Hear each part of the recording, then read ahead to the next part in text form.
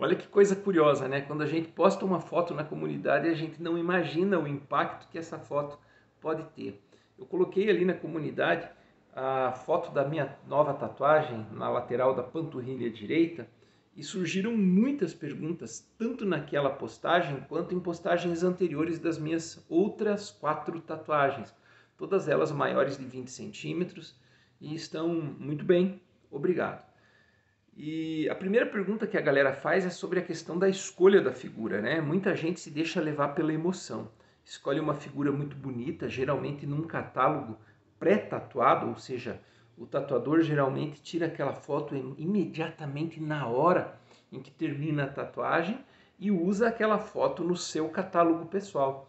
As pessoas esquecem que aquela tatuagem ainda vai cicatrizar. E toda tatuagem né? E, e em toda tatuagem a tinta dilata, né?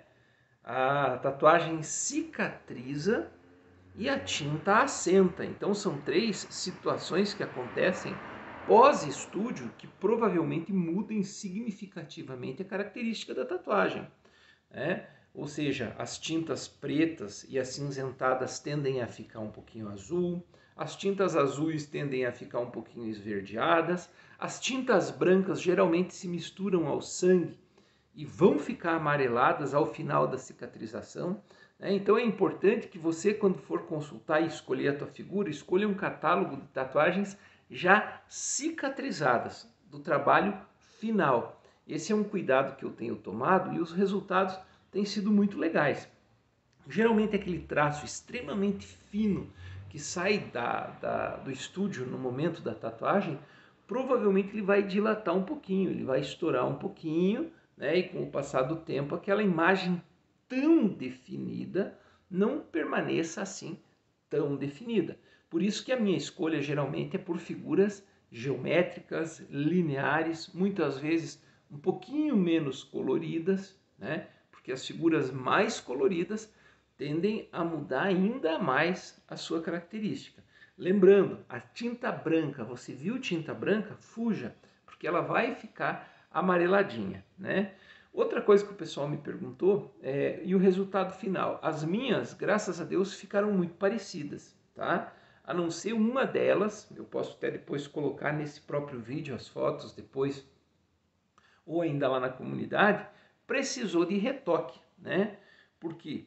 Porque os homens, por exemplo, que têm pelo no braço, pelo na perna, deveriam optar por 15 dias, uma semana antes, depilar ou com cera ou com aquele aparelhinho de arrancar, para evitar, por exemplo, infecção ou ainda evitar um pelo encravado surgindo no meio né, de uma tatuagem em recuperação e isso prejudicar todo o trabalho ali. Né? E a última questão importante, as recomendações. Olha, galera, já passei pela mão de diversos artistas. Uns recomendam que use filme plástico, outros recomendam que não use. Eu sou muito sincero com vocês. Todas as vezes que eu não utilizei o filme por pelo menos três dias, deu BO, deu infecção de pele e uma vez, inclusive, precisei tomar antibiótico.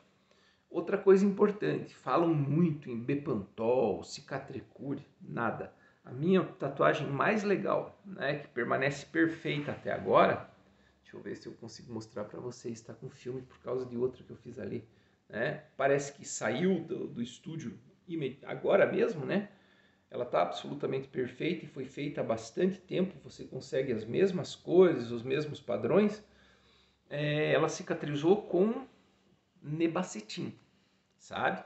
Uma semana caprichando no nebacetim e no papel filme né, no, no filme de PVC. Isso foi muito importante. Vão dizer para você um monte de coisa, saia, já deixa exposta, deixa arejar. Siga a orientação do profissional que cuida de você.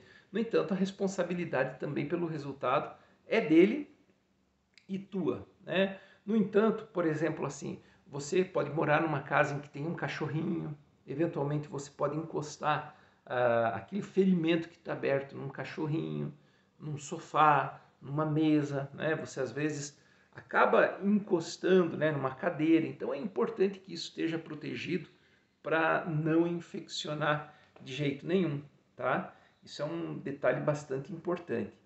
E outra coisa muito importante, na minha opinião, é a questão da alimentação. Galera, comer chocolate vai dar BO, tá? Pode comer doce, pode comer o que for, mas ó, galera, tal da gordura do chocolate tem que evitar. Tanto que algumas pessoas orientam as pessoas a fazerem uma preparação alguns dias antes. Sou bem sincero. Quando não usei o filme plástico durante todo o período, deu infecção. Beleza? Quando eu comi chocolate, deu problema de novo. Então, cuidados que eu tomo. Mantenho o filme plástico, não uso é, cicatricure, não uso Bepantol, uso apenas Nebacetim e o filme plástico. Beleza? Espero ter respondido. Qualquer coisa, perguntem novamente que eu respondo mais uma vez. Um abraço, tchau!